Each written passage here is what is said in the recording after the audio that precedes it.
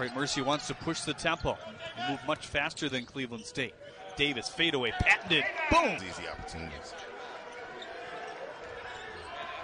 Davis with the handles here, along with Anderson, and he wins that possession. Davis trying to heat up in this first half. Yes! Here for Detroit Mercy. Yeah, Hal Hill, one of their leading off the bench guys, is also in for Cleveland State. And you can't allow this team to have two two shots at the basket. Davis buys some spin. Presently, they never shoot free throws.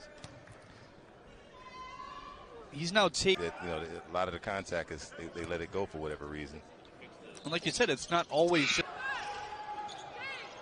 Parker with a little give and go there. Davis will rip it away. Detroit Mercy up 21 15. Look at that confident dribbling.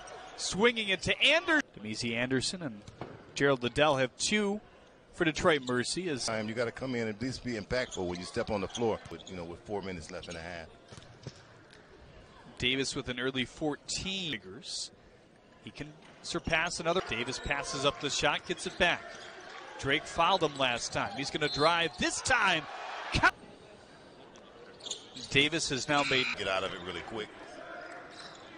Oliver gets that little tucking pass.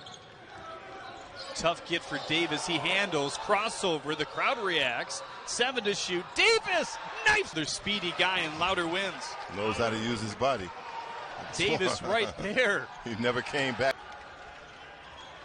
Davis to the front court, driving a lot. Little dish for Liddell. Double clutch now. Liddell credit. Good hustle. Davis just going to. Cleveland, and they're in it right now. And I imagine, imagine Davis is the reason why you don't see that zone. There's free throw number He's hung around 25 for a long time. And 335 points shy of Pistol Pete. This one can make it an even 300,